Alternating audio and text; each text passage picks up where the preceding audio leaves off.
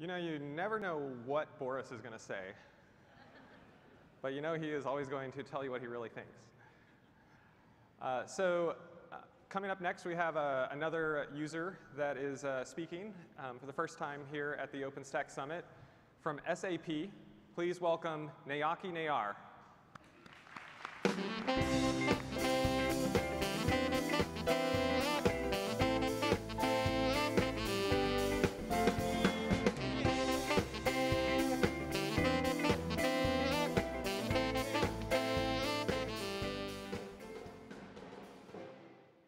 Hello, everyone. Good morning.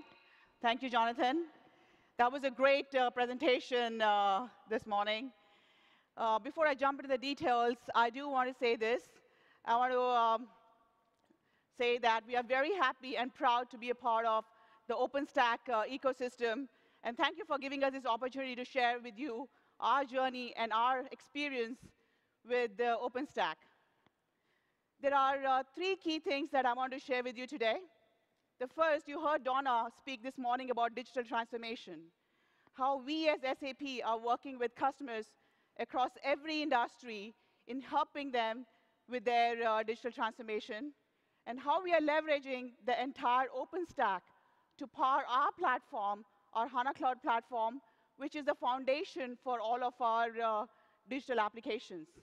And finally, how we are contributing to the OpenStack ecosystem, to the community, and the various projects that we are a part of. So let's take a step back and look at what does digital transformation really mean. I'm sure you heard, hear about digital transformation all day long.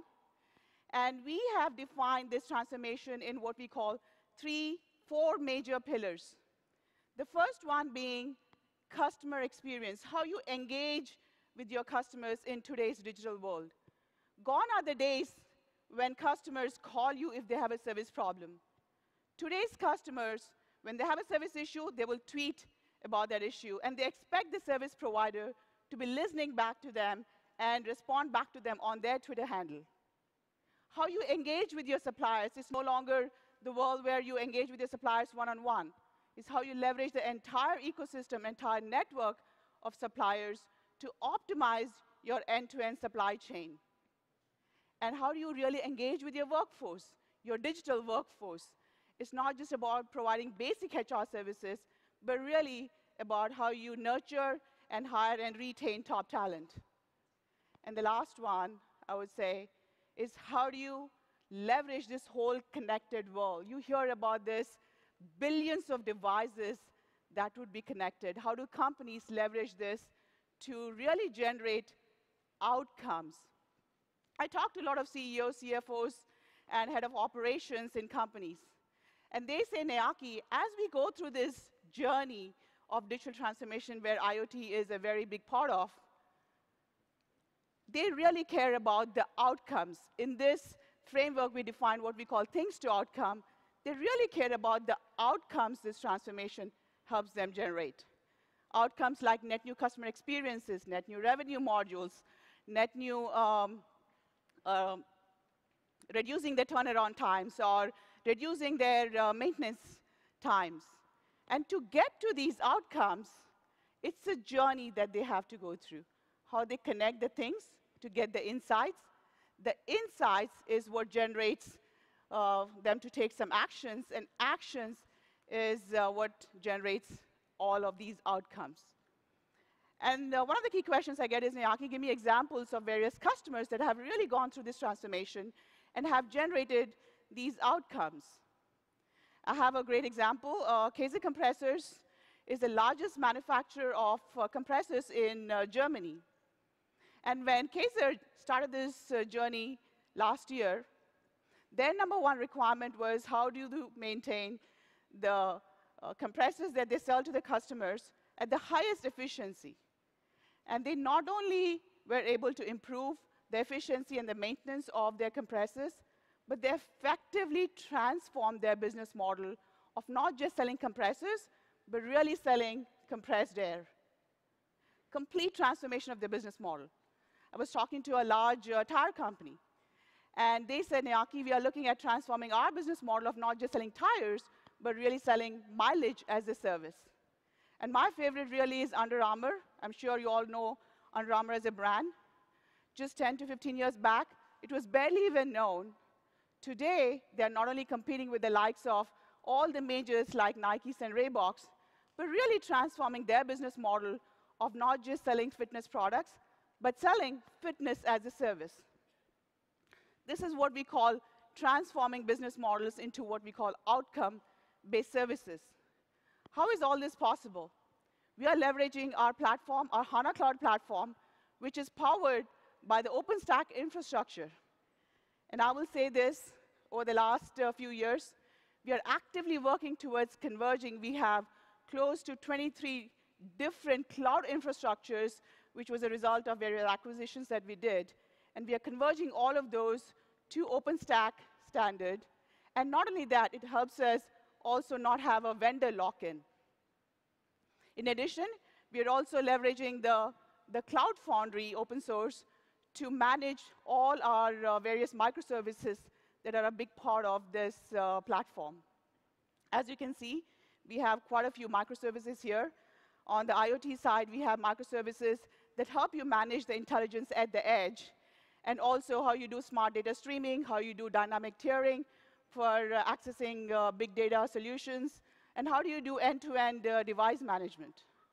Let me share with you uh, Siemens. Siemens is a great customer of ours, uh, and they have gone, they're going through this whole Industry 4.0 transformation of building various uh, applications like connected manufacturing, connected logistics on our platform, which is powered by the OpenStack. I want to share with you this great video that we have that shows you the entire end-to-end -end solution. Can we run the video?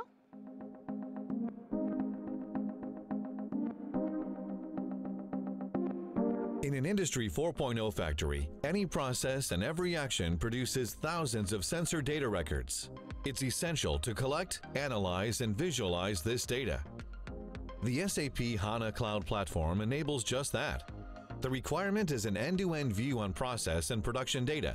This enables to derive relevant actions in real time to make the company processes faster, better, and more efficient. Therefore, all data produced in the factory will be transferred to the SAP HANA Cloud Platform. With an analytics application running on this stack, the company gains clear insights into how to optimize processes.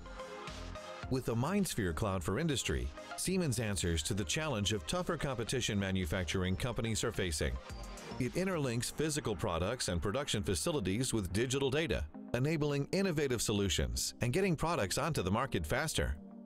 The SAP HANA Cloud Platform provides a unique set of in-memory databases and application services built on open standards and open technologies. Deploying a new application is just a matter of seconds. From the cockpit view, new application instances can be easily created, managed, and scaled to react to peaks during processing. These applications can leverage reusable services like microservices. The platform includes a variety of microservices and dashboards, also leveraging open standards and open technologies. It's easy to monitor the system and its state. Information can be stored in databases designed for big data, such as Hadoop, with an in-memory engine like SAP HANA Vora for queries. OpenStack is the foundation of the infrastructure as a service layer for this productive Internet of Things scenario. The physical data center becomes a pool of resources users can access. The SAP HANA Cloud Platform uses OpenStack to manage virtual machines, networks, and storage to fully abstract the underlying hardware systems.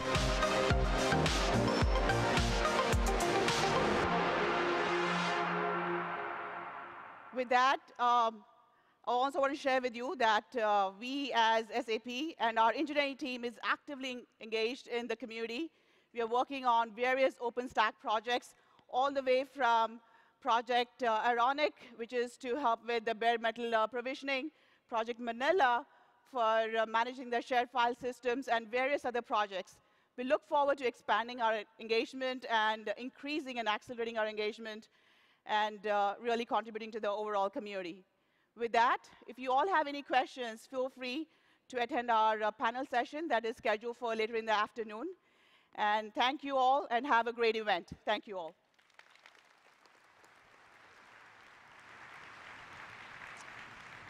Thank you, Nayaki. Thanks. I love hearing from new users, and uh, that video looks pretty cool where OpenStack is out there like building things.